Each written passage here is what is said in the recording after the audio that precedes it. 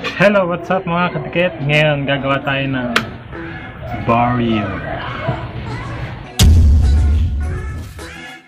Ang gagamitin natin barrier, kailangan natin ng acrylic, grinder, at blower. Itong acrylic na gagamitin natin is 3mm ang kapal niya, 12 inches yung lapad niya. Tapos yung taas nito is 24 inches. So, ito yung pinaka-recommended size ng IATF. So, gagawin natin dito, nalagyan natin ng korte para hindi naman siya plain na plain. Gumawa ako ng pattern. So, gumawa ko ng pattern dito. Tapos, ito yung pagsusuksukan natin ng pinaka-tali. So ito meron akong pattern dito. Ito meron na tong mga butas. Gumawa ko ng pattern. Kasi maraming ginagawa ko. eh. Binibeta ko na kasi siya. Pero sa inyo, pwede kung ayaw niyong gumastos dahil nga ito naman eh sa tingin natin mga rider is wala naman sa talagang kabuluhan. Gumawa na lang. Huwag na kayo bumili. So, nag-design ako ng dito, cutting, tapos may butas, tapatan, tapos dito yung strap para sa gilid. So, tapos yun dito sa taas, kaya tayo may heat gun, ibibend pa natin siya para may konting aerodynamic. So, let's go! Ito may pattern na ako.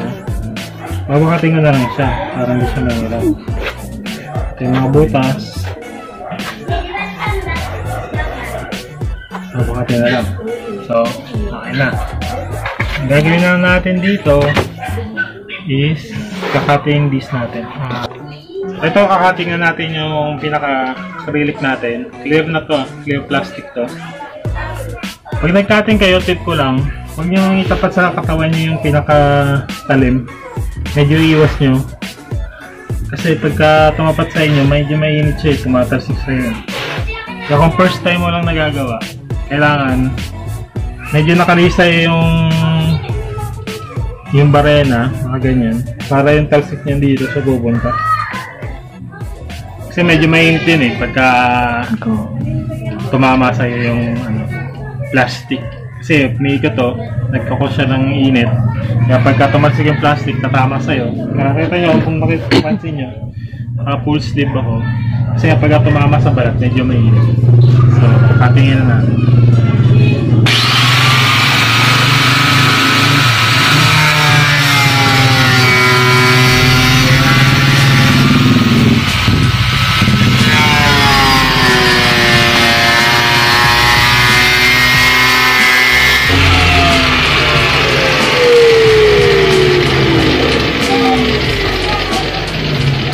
Na tayo dito sa kabila.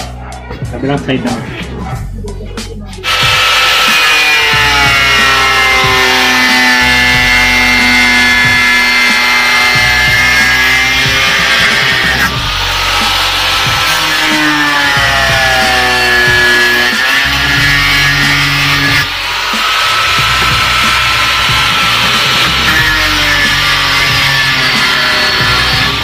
Kaya nakuha na natin yung gilid niya, yung pinaka-forma niya, yung design natin.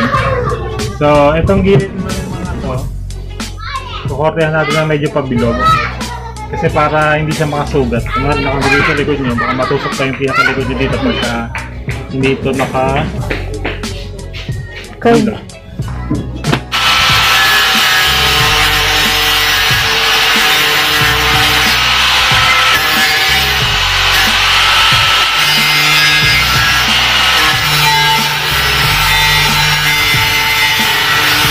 Ito na forma niya.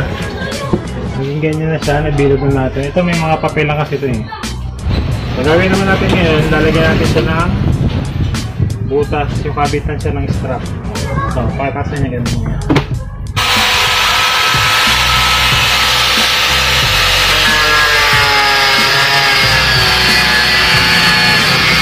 Basta magkasya na yung ano dito, yung strap na ilalagay natin, pwede na. Mabutasan lang naman eh. Basta tumagos lang itong pinaka talim nitong grinder. Basta tumagos siya dyan, okay na yan. Hindi na natin kailangan ito ipasok pa ng buo na ganun.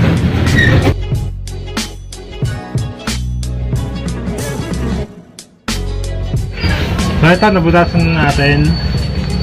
Yan, pwede tayo magsuot ngayon ng strap.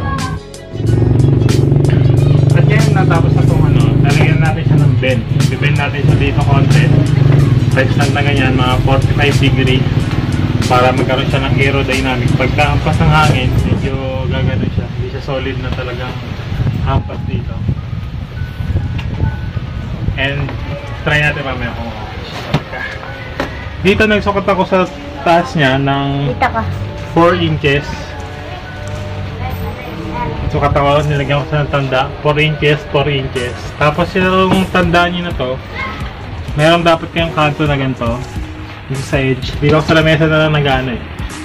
Sa edge nitong lamesa, tatapat nyo lang dito yung ginuhitan nyo ng 4 inches para pag binali ng ganyan, pag nainitan na natin to, pag binali natin, doon siya magtatama.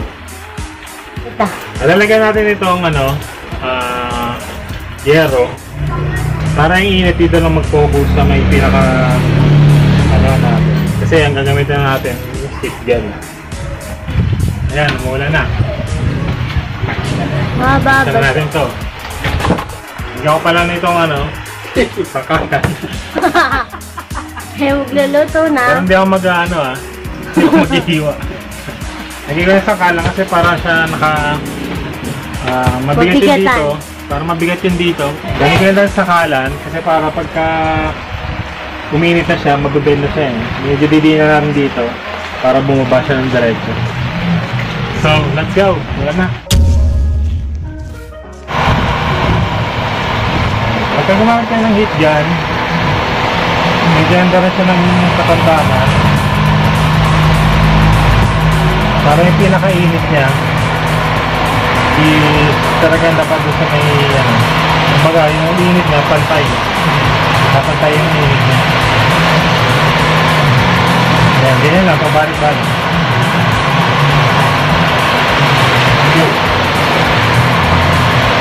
Medyo ito uh, nakakamay na, sunod na, papel na naman ang masusunog dito eh.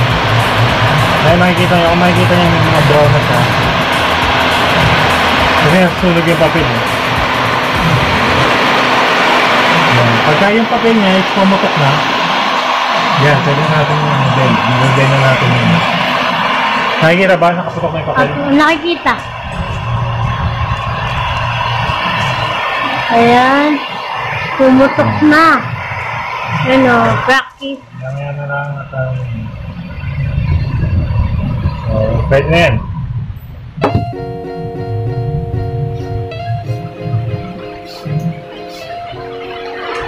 Ngayon, kantayin lang.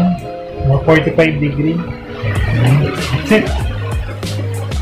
Yan, naibenta natin siya. Maganda rin ito kung babasahin natin. So, may umulan naman ngayon, tumutulo dito. Pwede na rin sa alternative.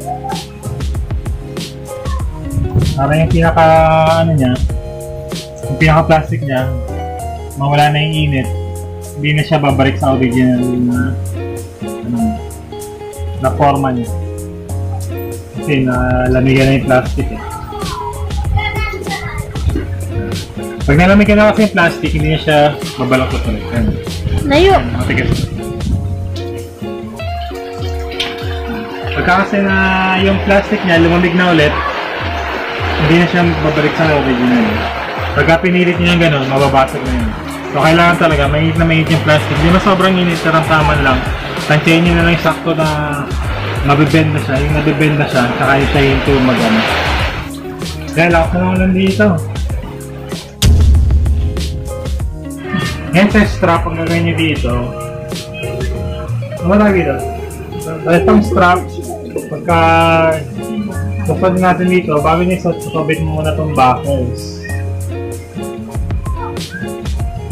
So, unahin natin, buckle, tapos, itong lock, Matong dito.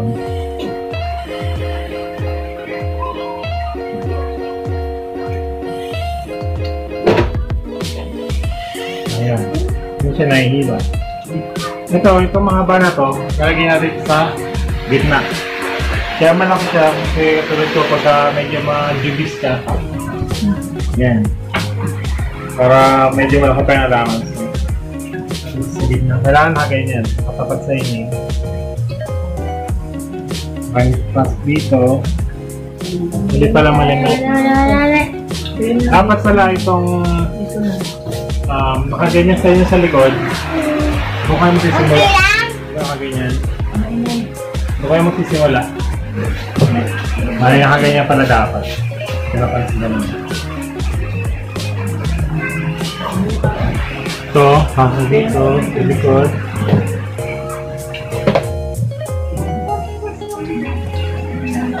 Dito.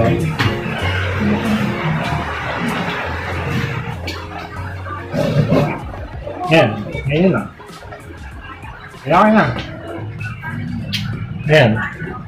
Dito, suot na dito sa may shoulder. Kasi ito dito sa may waist. And ayun, mamaya suot natin ito.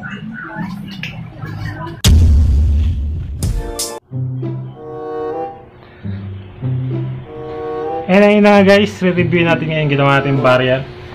Um, ito yung kinabukasan na kasi yung kahapon. Ay, titesting ko sana, kaya lang, umuulan kahapon, di ba? Nung nag-shoot tayo.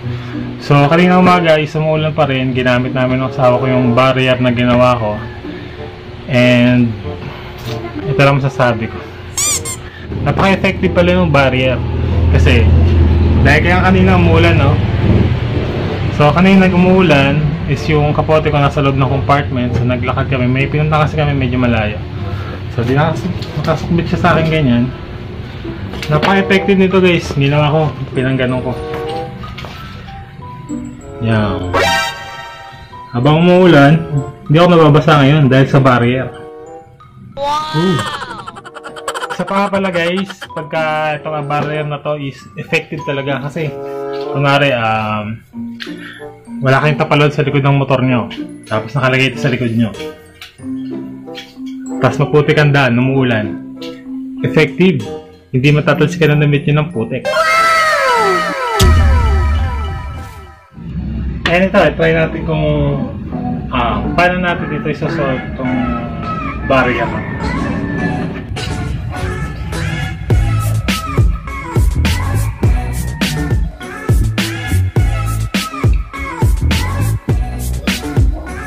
ganyan siya. Naging problema dito kasi, sobrang nakadikit siya dito sa ulo ko. Diba? So, paano kung may helmet na tayo? Yun ang na-try ko dito eh. Yun ang parang naging problema ko dito. Nag-drive ako ng about 20 minutes mula sa shop ko hanggang dito sa bayan namin. 20 minutes yun, ang layo. So, nakaganyan ako. Dahil sobrang higpit ng ginawa ko dito. Kasi nga parang hindi siya pagpagin. Parang hindi siya pagpagpagin ng hangin. At yun, medyo nakaganyan ako, nakayuko ako habang nag-drive. Nag-drive ako nakayuko ako. So, medyo nahirapan ako sa sa liig. 20 minutes lang yun ah. Paano kung babiyahe ka pa mula dito sa amin sa Bulacan naman sa Manila? Manila ang trabaho mo. Diba? Napaka... Hindi talaga komportable para sa ating mga rider. So, try natin ito ng naka-helmet. Lang.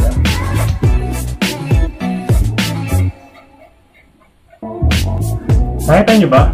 Kumikis-kis siya dito sa may likod. Kumikis-kis itong helmet na to dito sa may likod. So, pagka ganyan mararamdaman mo talaga eh. Pagka medyo matuling ka, tapos biglang pumain. Yan. So, basa sa ulo. Ang sakit kasi papagpagat papagpag siya eh. Kung ganyan na oh. Mapagpag.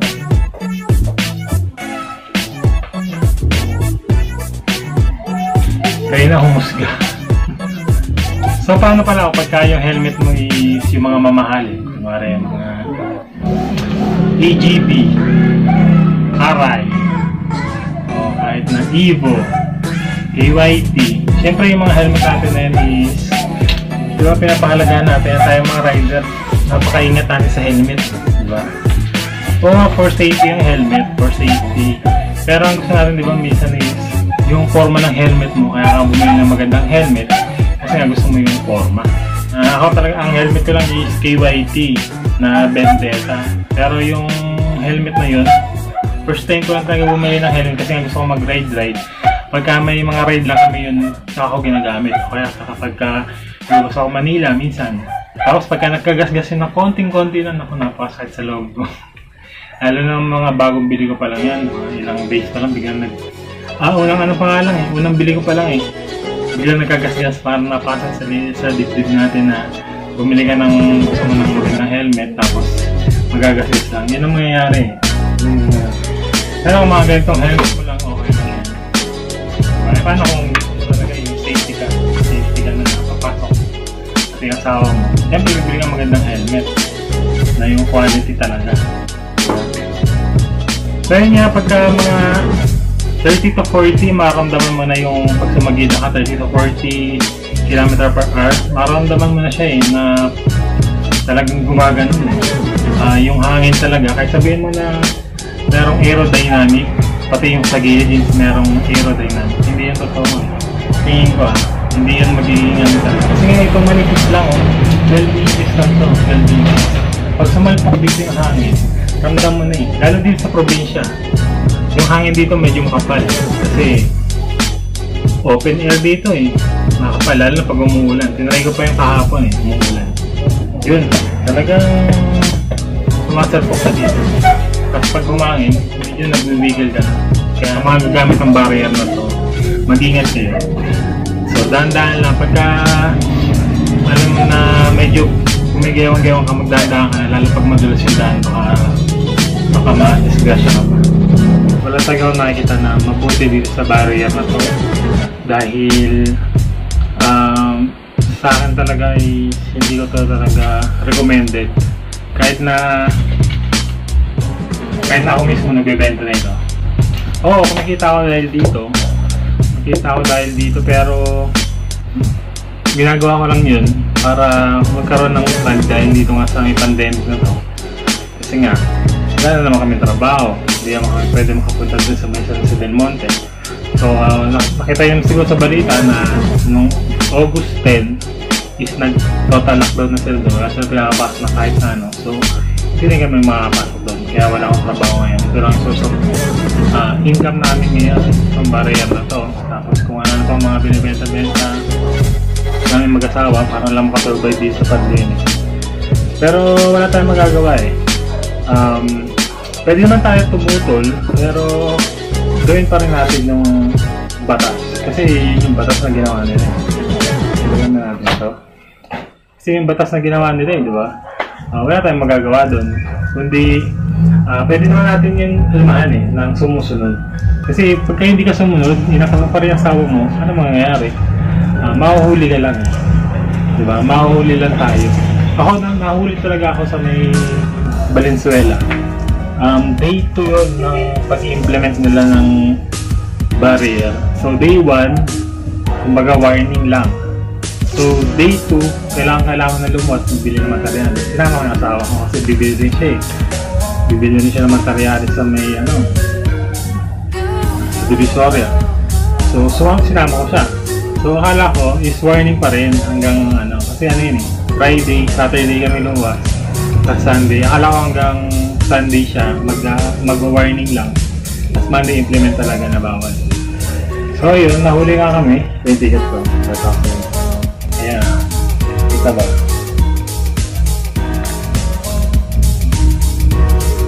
Ordinance number 673. Maling ta stoplight ako nahuli. So, akala ko is magpipigyan kami kasi kaka-implement pa lang naman ng batas. Akala ko i-warningan lang kami. So, tinuloy kami. Ah, so, wala naman akong magawa. Dahil Inuli ka nga eh. Di syempre, ibigay mo yung lisensya mo kung, kahit, kung ano pa sabihin mo, i, ano mo yung yan ang yung side mo sa kanila, eh, yun yung batas na patupad nila. Kahit sila, alam ko yung sa may enforcer na huli sa akin, na labag din sa loob niya eh. Parang gusto nga tanong eh. Parang gusto nga itanong sa kanya kung meron lang ako camera doon. Like ako. So nga sana itanong, ikaw ba sir, okay ba sa'yo yung gano'n na asawa mo, hindi mo may backride ng wala kang barrier. Samantalang sa gabi naman, pag natulog kayo, magkadikit din naman kayo. Nagpapalita kayo ng laway. Diba? O kaya, ihatid mo siya, may barrier kayo, pagdating niya ng trabaho, mag-good day kayo. Diba? So, nasa nang ano? Nasa nang sense ng barrier na yun? Ang totoo, nung pinagastos lang tayo nito, gastos sa ating mga motorista. Gastos para sa ating mga kasingil ng motor na gusto natin ihatid yung mga mahal natin sa buhay. Tapos, ganun pa. Tapos pagka na-accident ka pa, maraming pwede mangyari dito eh. Itong ano na to, pwede itong mabasag talaga. Siguro may nakita na sa news sa Facebook na pagka nag-save lang sila na mabasag to. Tapos pwede pa nung, pwede pa itong makasugat sa'yo. Pero ito recommended kasi ng IATF eh. Na acrylic yung pinakagagamitin na plastic. Pero tingin ko, um, naghahanda na sila sa naghahanda na sila na sa darating na mga araw, siguro papayagan na nila na iangkas mo yung kapatid mo gamit yung barrier. Yun, mas maganda pakinggan, di ba? Kapatid mo, pwede mo iangkas na basta may barrier. Kaya kasi pagka yung, kaya lang na, kaya lang naman nagkakaproblema kasi um, yung asawa mo, yung lalagyan mo ng barrier, doon lang medyo conflict talaga doon sa may pinakabatas na to eh. Diba? Pero kung sasabihin nila na, ay pwede na mag, hmm, ay pwede na magangkas katikit, siguro lahat kayo sangayon dito. Uy, pwede na magangkas, pwede mo na iangkas yung nanay mo, tatay mo, kapatid mo, basta may barrier. Kasi nga, hindi naman kayo magkakasama minsan sa loob ng bahay, hindi na kayo magkakaan sa, um, sa isang kwarto, di ba?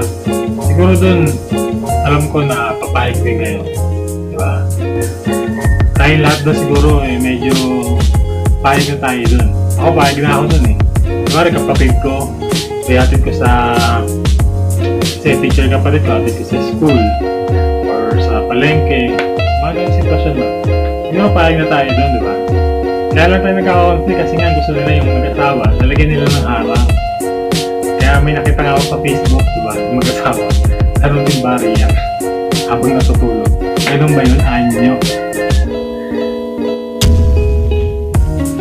Eh so, dito na natin tatapusin ang vlog na to mga kadikit.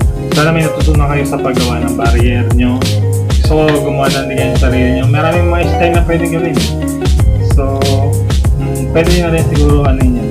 At least nagkaroon kayo ng idea kung paano gawin to. Hindi na kayo gumastos ng malaki. Pero kung gusto nyo naman bumili, okay din naman. Kasi ito lang source of income namin yun eh. Ito, binibenta ko siya ng depende. Depende sa marami. Depende kung marami. Kung gusto mong mag-sell? Depende. Siguro nasa 400 to 500, yun. Depende na lang kung gaano marami. So, kung, pero kung padikit kita, ah, baka may discount ka sa akin pag bumili ka.